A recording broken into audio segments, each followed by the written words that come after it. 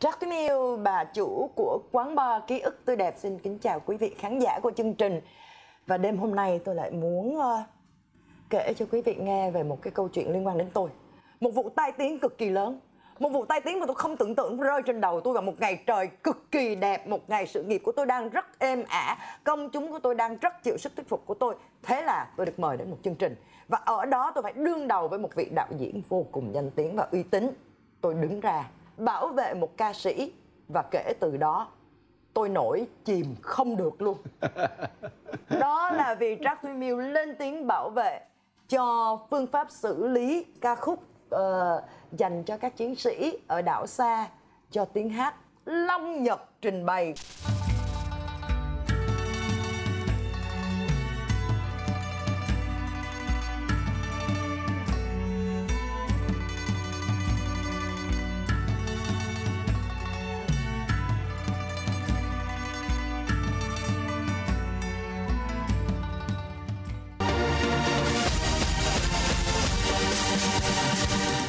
ngày hôm nay người cũ quay trở lại và chúng ta lại tái ngộ nhau với ký ức tươi đẹp. Nhưng ký ức giữa em với anh hồng tươi đẹp chút đẹp nào chứ đẹp quá đẹp luôn. Riêng đối với long nhật là kỳ ký ức đó nó quá đẹp luôn. Nhưng mà trước khi mà tiếp lời của trạng thùy miêu á thì à, cho phép long nhật xin gửi đến khán thính giả bốn phương đang theo dõi chương trình ký ức tươi đẹp này. Cảm ơn quý vị đã bỏ cái thời gian rất là quý báu vàng ngọc của quý vị để mà ngồi mà lắng nghe mà chiêm nghiệm cái buổi hội thoại của hai anh em chúng tôi Lâm Nhật và Trác Thúy Miên. Cảm ơn quý vị. Đấy, ký ức chúng ta có với nhau là một ký ức khốc liệt, sóng gió bão bùng, có đảo xa, có biển lớn, có sóng thần và có đạo diễn Lê Hoàng ở đó. Mà báo chiếu chao là trời. Ô, tu ta ơi chi mà hẳn vua với rồi hẳn bang cả một tháng trời mà bảo ngày nào cũng lên mấy chục lính rồi đạo diễn Huy Tuấn cũng đấu đầu thứ hai được một ngày Huy Tuấn gọi gọi cho Long Nhật. Bao nhiêu cuộc. Nhưng mà em em cũng xin nói là không có phải là vì đàn anh mà nịnh để mà lấy tình cảm của anh. Thật sự khi đó cái mà Thúy Miêu bảo vệ lúc đó anh ạ đó chính là cái cách xử lý ca khúc của anh.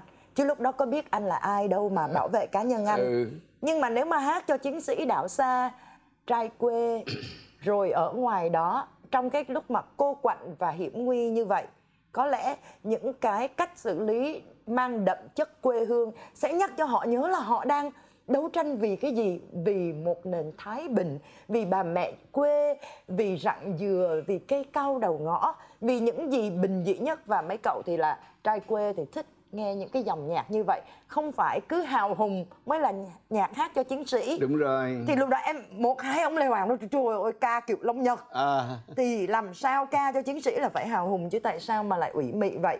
Vậy thì lúc đó anh em hỏi thì anh anh hoàng là anh cái miệng anh cũng ác dữ lắm lúc đó anh có bị tổn thương không? Không anh không có tổn thương là tại vì long nhật nhìn nó mỏng manh huế mà có vẻ dị vợ mà rất là mít ướt hay khóc. Nhưng long nhật được quyết định cái cái đó hay, là trời sập xuống thì anh vẫn thấy là cái đó hay. Thì tôi mình lớn trong trong âm nhạc thì anh nghĩ gì này muốn hào hùng, muốn mạnh mẽ thì đã có trầm tấn. À, anh thơ trầm tấn, những người chuyên hạt những cái nhạc về về về về biển đảo quê hương. Thì tôi là một cái làng gió mới, một cái trữ tình, một cái mềm mại, một cái quê hương để mà vỗ về an ủi những người chiến sĩ nơi đảo xa. Nhất là những cái ngày mà mùa xuân tết đến cần kề họ nhớ nhà như vậy. Có những người cũng nói là ờ, tại sao lắm nhật hạt xịn quá? Lâm Nhật này ai sợ từ sến thì cứ sợ. Nhưng mà riêng anh Long Nhật thì xin nhận cái từ sến đó về làm bảo vật Là bởi vì nhờ cái chữ sến đó mà Lâm Nhật có công chúng. 30 năm Có sự nghiệp, có vợ con, có nhà cửa, có tất cả mọi cái. Là anh Nhật sến cả trong suy nghĩ Chứ đừng có nói từ cách hát và cách sống. Và khi anh Nhật đã khẳng định cái điều đó là đúng Thì mình cứ làm thôi. Bản thân anh Lê Hoàng cũng vậy anh phim của anh Lê Hoàng có những bộ phim mình mê mình coi suốt ngày suốt đêm. Nhưng cũng có những người người ta không chịu. Nhưng mà nhắc tới anh Lê Hoàng thì Lâm Nhật sẵn lẽ Lâm Nhật cũng nói luôn này.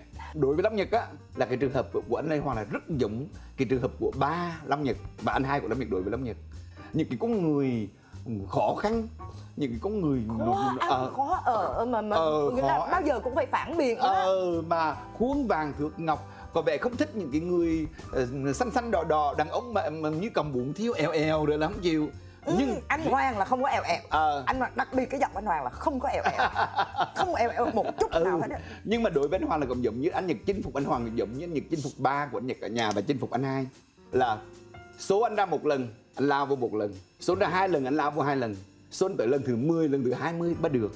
Tại vì anh hoàng là người ta chứ không phải là gỗ đá anh đi trong sự kiện gặp anh hoàng ở đó anh chạy thể ôm vậy đó. Mặc dù cái câu chuyện mới xảy ra ngày hôm qua đạt thì mới bính anh năm nhật như vậy đạt lại phải hận về dần ông đấy chứ được không? Quan niệm nghệ thuật là mỗi người một suy nghĩ một cái lập trường nhưng mà cái tình anh em trong nghệ sĩ với nhau. Anh là người lớn mà mình rất quý anh hoàng luôn. Yêu ông từ cái lưỡi dao từng cái từ cái ngược dòng rồi sau này là tới uh, gái nhảy phần 1, phần 2 rồi trái nhảy.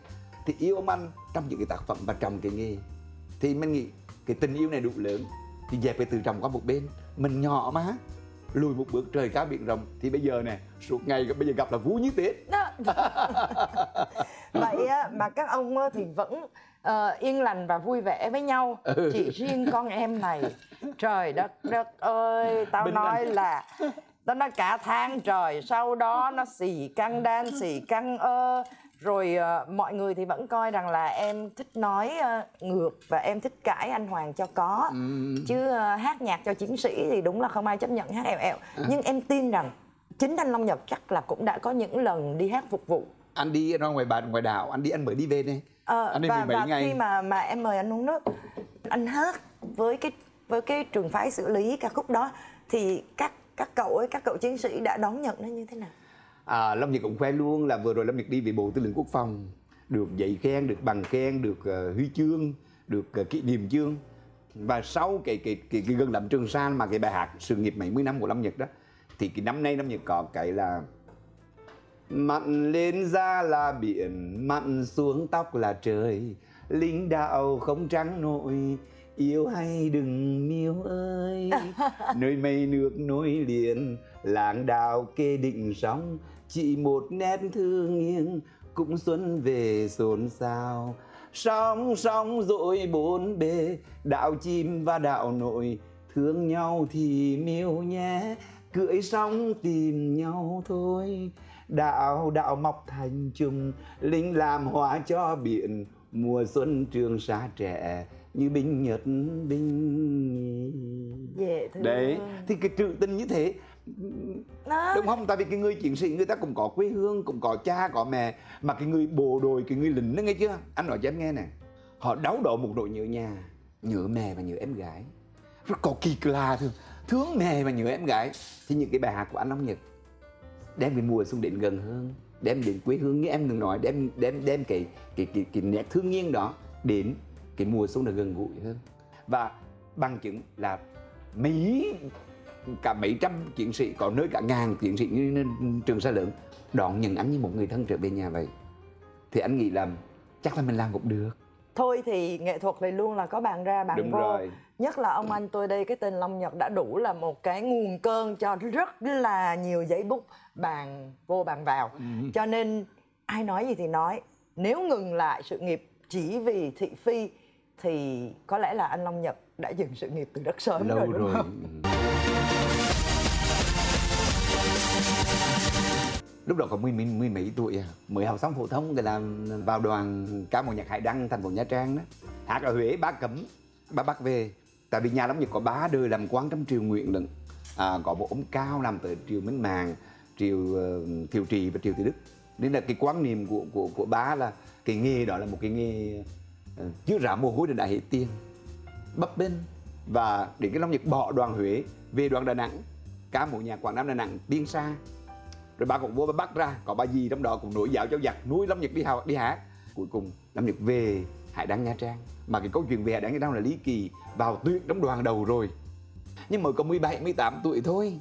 Phải được phụ huynh chấp nhận kỳ giấy thì đoàn mình nhận thì đoàn ra Huế diễn. Đoàn về nhà gặp ba mẹ thì Lâm Nhật về nhà nói với mà là chị trên mà ơi bây giờ đoàn họ về mà gặp ba chắc là ba lấy cái heo ba rực họ chạy có cơ luôn á. Sáng trong mà bay đến một cái câu chuyện là bà ngoại ốm ba phải về dưới quê ở chơi về bà ngoài cả ngày. Để trên này mẹ tiếp khách bà đoàn hải đăng về. Và mẹ ghi dạy cho năm Nhật đi cho tiền cho 500 ngàn rồi là 500 ngàn lượng lắm. Thì trước ra khỏi cửa thì bà có hỏi là một lát ba mươi về thì ta, ta phải nói về 35 răng. Anh ông Nhật còn nói về mà là cái chuyện mà đối phó với ba là chuyện của bà còn chuyện đi hạt là chuyện của con. Đó thì năm Nhật về Hải Đăng thì à, uh, bà đoàn đảm bảo từ từ đó ngày xưa có cái mang mà đăng báo Đúng giấy để rồi. từ con đó. Thì ông- nhau à, cái là là có mấy cái tin nhỏ nhỏ. À, là đăng báo từ con. Ông đính khắc duyệt không không còn liên quan tới thằng con đến ông nhật nữa nên sướng cá vô loài đó này kia. Mà ngày xưa gọi điện thoại về là đánh điện tín. Để những là trạc thì miêu 3 giờ chiều ra ngoài bưu điện thành phố Huế nghe điện thoại của Long Nhật. Càng ít chữ càng À. tốt đỡ tốn tiền. Đánh cái boxer rồi đó. Thì à, ba ra thì sợ lắm. Thì nói với ba là ba cho con đi 3 năm nếu mà con thành công thì con đi tiếp. Còn nếu 3 năm mà không thành công thì con về con sẽ đi học sư phạm. Con bảo lưu kết quả rồi con sẽ về con đi dạy giống nhà tại vì nhà mình cả nhà đi dạy học. Mà cũng may mắn là từ 90 91 92 là Lâm Nhật đoạt huy chương vàng. À, nụ hồng rồi mấy chim câu tre là xong ca về Mỹ hành và bước lên làm một ca sĩ chính của của đoàn. Rồi sau đó từ 95 năm Nhật về Sài Gòn. Từ 95 từ 95 là anh rời đoàn. Tại vì anh nghĩ là muốn thành danh muốn được khán giả cả nước đón nhận là phải Sài Gòn. Mà có một điều kỳ lạ là nghe miêu anh yêu Sài Gòn một cách không thể lý giải được vì sao. Anh không phải là người con ở đây, anh không lớn lên, anh không chôn nhau các rộng ở đây. Nhưng ba anh nói là, anh biết nói là cả nhà nói tiếng Huế, mà anh đang nằm trong nôi anh bập bè là anh nói tiếng Nam. Tại vì hồi nhỏ anh rất là dễ nuôi, cứ mở cải lương về mở ca nhạc về mở những cái câu chuyện trên radio đó anh nghe nó thẩm trong lỗ tai anh, và khi anh tập nói là anh nói tiếng miền Nam. Phim không cần biết là diễn viên miền nào. Sự phim tổng hợp thành phố Hồ Chí Minh cũng được, sự phim Việt Nam cũng được, sự hạng phim giải phóng cũng được. Không biết miền nào, phải lâm tiếng Sài Gòn thì anh mới coi. Mà không phải một mình Long Nhật đâu, thưa quý vị. Riêng Huế của Long Nhật nha cá sĩ mà bước ra sân khấu đoàn thành phố Hồ Chí Minh, giới thiệu một đoàn ca mũ nhạc Sài Gòn là là hết vé cả đã và ca sĩ bước ra những cái ca sĩ nổi tiếng thì không nói. Còn những ca sĩ trẻ mà họ chưa biết á chào bằng dòng Sài Gòn là 50 Là thương là năm liền. điểm đã là thương đã. À. Và cái điều đó là khiến cho anh anh khẳng định là anh sẽ về Sài Gòn anh sống. Khi anh ở đoàn Huế anh có về Sài Gòn năm 87 về dự hội diễn trong đây liên hoan ca mối nhạc chuyên nghiệp toàn quốc. Đi bằng xe từ xa lộ Hà Nội bắt đầu vô qua cầu Sài Gòn và anh nhìn một thành phố hóa lệ đèn sáng trưng cả đêm vậy và sáng hôm sau đi cà phê rồi anh đi chợ Bến Thành anh vô ăn đông rồi anh đi ăn cái kem hộp á. Và anh nói trong bụng anh là mình sẽ sống ở đây thứ hai của mình. Vì sao? Vì sự hoa lệ của nó. Và vì là muốn đi quay cải lương là tối ra mua vé qua được liền. Muốn gặp cô lệ thủy cô bạch tuyết là ra ngoài rạp là có ngay. Nhớ cô kim cương là chạy về đoàn nhà khoa bình là gặp lá sầu riêng liền. Tại tất cả những điều mà mình mơ ước là nằm trong tầm tay. Còn ở huế buồn quá.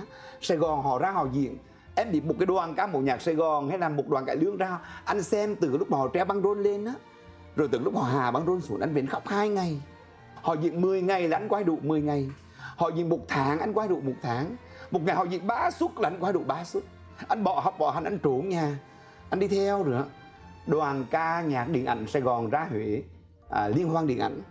Anh nằm trong cuộc học Huế anh là học sinh giỏi à, đạt hay anh được cùng với mấy trăm học sinh đi đón cả mấy ngàn khán giả nữa anh dành tỷ lúc lúc là Nguyễn Thành Luân là một cái tường đài. Trong đoàn là có chị Thanh Lan có chị Nhã Phương có chị Bảo Yến. Và chen chen cái để chen lên sân khấu tàng hoa đó. Mà anh nhỏ xíu à anh nhỏ con lắm. Và số phần làm sao? Anh dành tiền đứng trên sân khấu nhìn xuống bà thẻ anh nhật. Ông bể lên em ơi. Ông bồng anh nhật lên sân khấu nữa anh tặng cho thần tượng được bỏ hoa anh ngồi lú trong lòng anh thì đánh tuột xuống nữa em thề với anh chú chánh tính mà bồng em lên em cũng ngồi đó em không tuột xuống. Là bà anh em chúng tôi làm làm làm làm làm anh em luôn từ đó cho đến bây giờ mấy mươi năm.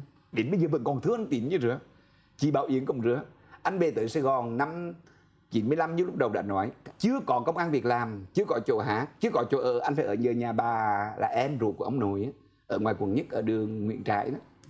Công việc đầu tiên của anh là anh phải đi thăm. Chặn tìm về Bảo Yến cái đã đi tìm nhà không có thì anh tới sân khấu quận 10 anh ra trọng đồng ra một hai sáu ra nhà nghĩa là mình anh đi tìm trong vô vọng À, không có một mối dây liên lạc. Không thể băng rôn người ta quảng cáo á. Là mình cứ đứng đó thế nào cũng gặp người đó. À, đúng rồi và gặp và vô gặp bảo vệ gặp mc để gặp nói là em là một cái ca sĩ ở huế đã từng gặp các anh chị ngoài đó rồi. Mà cũng từ trọng lắm nhé. Gặp các anh các chị và nói rằng là em không có nhờ vả gì đâu. Em sẽ từ đi tìm công an việc làm sẽ tìm chỗ hát. Em sẽ không phiền tới các anh chị phải giới thiệu gì đâu em đi gặp các anh chị để em giải quyết cái vấn đề nhớ nhung xong đã. Rồi sau để yên tâm để lo công việc. Và có phải rằng là đó chính là hào quang của họ là điều mà anh muốn có cho chính mình này? không phải là hào quang mà họ là một cái cái cái, cái họ là những cái con người mở toán cái cánh cửa nghệ thuật cho anh bước vào. Đối với anh họ là những người thầy là những người ân nhân. Bởi vì anh ở Huế xa xôi làm thành phố Huế miền Trung mà muốn đi vào Sài Gòn anh phải đi từng chặng từng chặng. Anh phải đi vào Đà Nẵng rồi anh vào vào Nha Trang anh từ từ từ từ anh mới vào trong đây. Quý vị biết không? Cái ngày mà anh Lê Công Tuấn anh mất á anh đứng trước quan tài của anh Công và anh khóc anh nói là cuộc đời em bị có ông anh là thương nhất cái này, này. anh Công là thương anh Nhật nhất anh Công là móc tuổi trên tuổi dự cho. Còn đủ 500 ngàn mà cho Long Nhật đi tàu về quê ăn Tết á. Anh đứng trước quan tài anh Công anh khóc quả trời anh nói là được ông anh thương quả trời mà giờ chết thế rồi. Mà cái số anh Nhật là cái số biệt ly anh Nhật mà thương ai mà cảm thấy mà đó là ông anh của mình rồi. Anh mới lập một là anh mất chủ dụng rồi á. Trạc Thùy Miêu. À, anh có một người chủ ấy thương anh dễ sợ luôn. Thương hơn ba mà mới lập một là anh mất chủ dụng anh. Thì anh anh Lê Tuấn Anh mà chồng chị Hồng vẫn bây giờ nè. Anh Tuấn Anh nói thôi đừng có khóc nữa. Để cùng cơm công. Anh hứa với thằng công trước linh cựu công.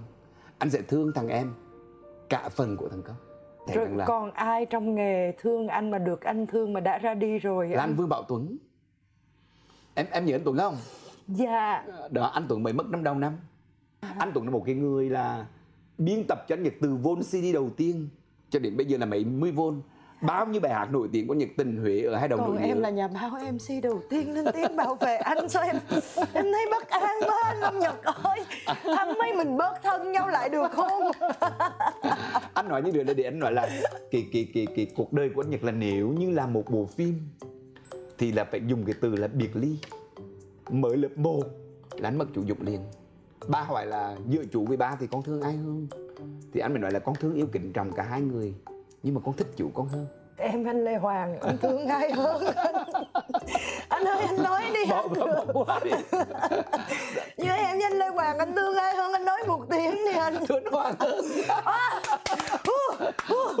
Dạ em chúc mừng năm mới anh Hoàng dạ. Thị phi đầu tiên trên bước đường sự nghiệp. Thị phi đầu tiên trên bước đường sự nghiệp của anh Năm Nhật là lúc đó đang lên như diều gặp gió luôn Lâm Nhật vào nghề năm 89 Hồi bé anh sợ đủ thứ chuyện á. Anh sợ nắng, sợ mưa, sợ kháng tiếng. Ờ, Anh về Sài Gòn anh bớt sợ hen suyện, sợ dị ứng thời tiết đó. Tại vì trong này nắng ấm. Anh sợ đủ thứ. Nhưng bây giờ thì thưa quý vị hết sợ rồi. Những cái điều sợ hãi nhất là đã xảy ra rồi. Mặc cái nó dễ khóc Người mỏng manh dễ vợ Mặc đồng đàn ông nhưng mà tính rất là mít ướt Nhưng mà bên trong là cả một sự can trường Sự tối luyện Cả một sự chịu đựng anh hai của anh dùng cái từ là thần kinh thép là thằng Long Nhật. Vậy là thần kinh thép đó được luyện từ năm bao nhiêu tuổi? Từ thì khi anh ở Sài Gòn là anh làm cái việc giống em dẫn chương trình. Cái sân khấu hòa bình làm em MC dẫn chương trình thay anh Thanh Bạch một đêm. Anh Bạch hôm nào kẹt chương trình ngoài nhà thành phố. Thì chị thương giám đốc đã anh dựng và giám đốc kiểm đồng anh Nhật 3 năm. 3 năm trời vừa hát vừa dẫn chương trình cho nhà hòa bình. Cái cánh cửa nghệ thuật là mở toang ra rồi cả cái hãng phim hãng bắn địa mời. Thì vốn con cò bé bé mà vốn một đầu tiên cái bắn video của bé Xuân Ban anh Nhật dựng á.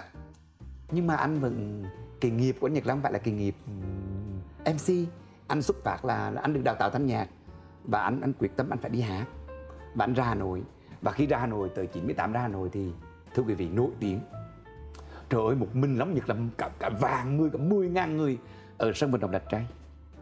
Cuộc đời nó bước qua một trang mới trở thành một ngôi sao ca nhạc ngủ một giấc thì phát cái bay mẹ nhiều cầu tre về tóc em đưa gà lên là từ lương mà mấy trăm ngàn một triệu của anh Xuân Hinh trả cho Long Nhật á.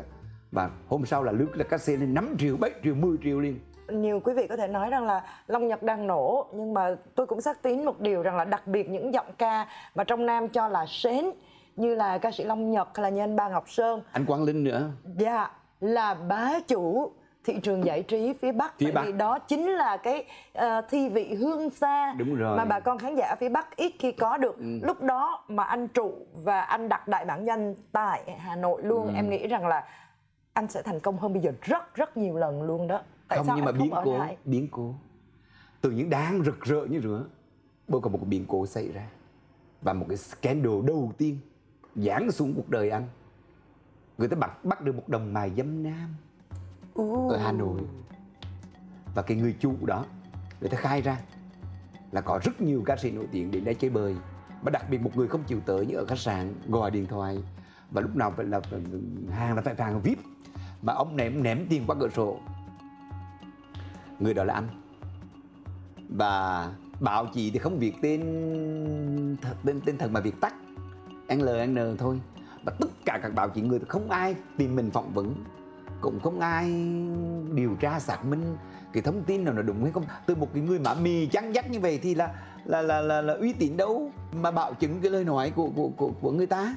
Nhưng nhưng tại sao lại LN à?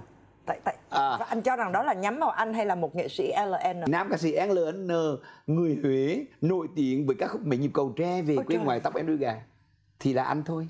À, và thêm một người nữa là anh Quang Linh à, mà bảo chị viết làm sao mà hai đứa bị bắt được quả tang tài trừng trong cái đồng đó luôn. Tức là tam sao tức bạn bảo này viết bảo này viết bảo này viết và không ai phỏng vấn hai đứa mà lúc đó là Quang Linh đang đi Mỹ diễn. Và lúc đó anh Nhật đang về Huế để mà bà nội mình á. Và cái người đầu tiên gọi cho anh Long Nhật là anh chị Trung nhà tuổi trẻ. Anh Trung kêu alo cái này em đấy cái này có số cho em này số gì đâu mày á. Tao nghe là mày bị bắt rồi. Thì đầu giờ cái anh nghe tiền khóc. Thì em nói ai khóc này chị Ngọc Huyền khóc. Nói thằng Long Nhật không không phải bị bắt bảo chị đang tầm bậy. Em nói không em đang ở Huế với cha mẹ ba nội mình. Trời ơi mà ngày xưa là bảo vậy ha. Mà